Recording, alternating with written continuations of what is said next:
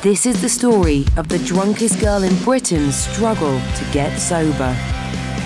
You know, if I can change, anyone can change. There's one thing I can't do, and that's drink. Because I just know that I can't go back to that. Whatever happens in my life, I don't want to go back to that. Laura Hall, My Battle with Booze, coming soon on BBC Three.